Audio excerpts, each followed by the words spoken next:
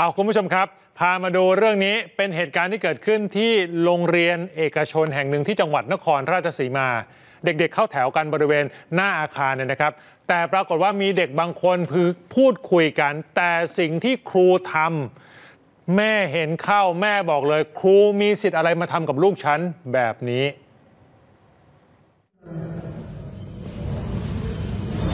พูดคนเดียวมึงบ้าเปล่า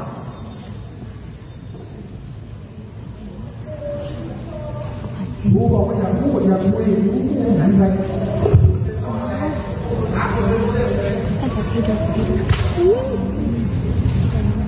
โอ้ยแล้วตบเข้ากลางหลังเลยคุณผู้ชมครับตีดักนะฮะโอ้โหด้วยฝ่ามือเต็มเต็มๆแล้วแม่เห็นคลิปนี้แม่ร้องเรียนแล้วเอาไปโพสต์ลงในโลกโซเชียลนะครับ ถามว่าครูคนนี้มีสิทธิ์อะไรทำกับลูกสาวเขาแบบนี้ ล่าสุดโรงเรียนเอกชนแห่งนี้ในพื้นที่ ปักช่องนครราชสีมา ทางด้านของผู้อำนวยการเองชี้แจงเลยนะฮะ บอกว่ามีคำสั่งไล่ออกคุณครูท่านนี้คือครูวี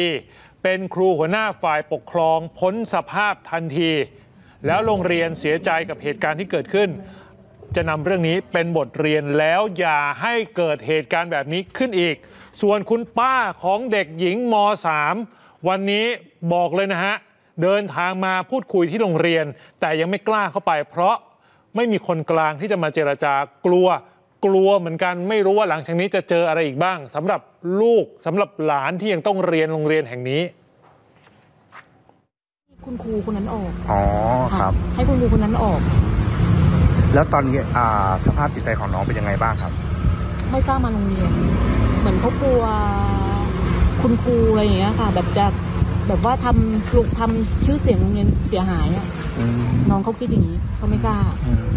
แล้วแล้วสภาพของจิตใจของของทางแม่น้องนะครับ ไม่รู้จะทำยังไงอะมันวนเวียนไม่รู้จะทำยังไงดีอะไรอย่างเงี้ยจะให้ใครช่วยดีอะไรอย่างเงี้ยค่ะอืม อืมตอนตอนนี้ทางญาติเป็นห่วงในเรื่องของอะไรบ้างครับ เอ่อก็ไม่อยากอยากให้เรื่องมันจบอะค่ะ